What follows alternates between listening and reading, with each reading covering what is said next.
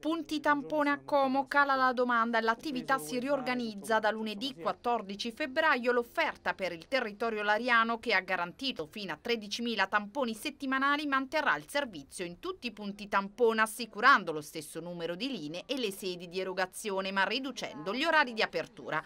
A Como sarà possibile effettuare tamponi in via Napoleona dal lunedì al venerdì dalle 7.30 alle 9.30.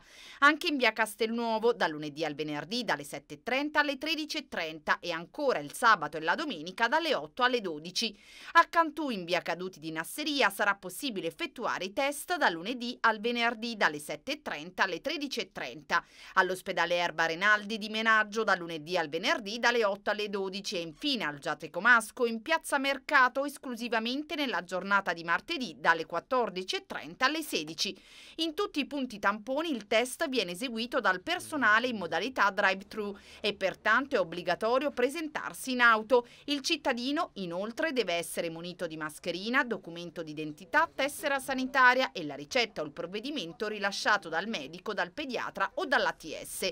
Per le persone fragili è inoltre prevista la possibilità di effettuare dei tamponi salivari. I punti tamponi zone di ASST Lariana dove è possibile effettuare i test salivari sono a Cantù, in via Caduti di Nasseria, a Como, sia in via Castelnuovo che in via Napoleona e a Menaggio nel tendone allestito nel parco dell'ospedale.